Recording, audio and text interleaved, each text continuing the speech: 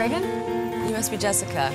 Hey, wow, you're so much prettier than Kyle said. Oh, gosh, uh, thanks. You ready? Yeah.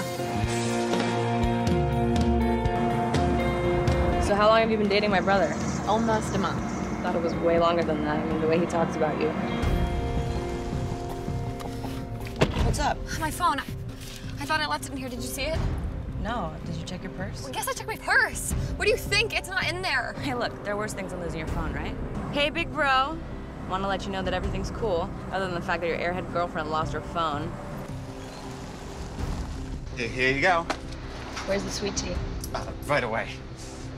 Go. What? Come on. Oh, my God. Go back. Oh, come on, just eat your Jimbo fries. Ladies, the party ain't over yet. I was thinking we could all just have a little fun. Did that scare you? Did it scare me? I think I left a huge puddle back in that parking lot. You know, I forgot to tell you, I have great news. I found your phone. And when I went to give it to you, it wasn't there. You okay? You seem tense. Just relax. We're gonna play by my rules, okay?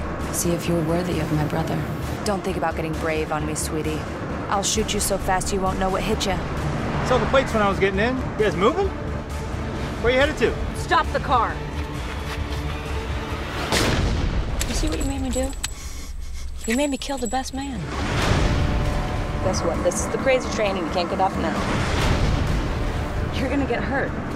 Like I'm talking full on devastated, your ass will never be the same again hurt. And you're gonna deserve it. I mean, whatever happens to you, you're gonna deserve it.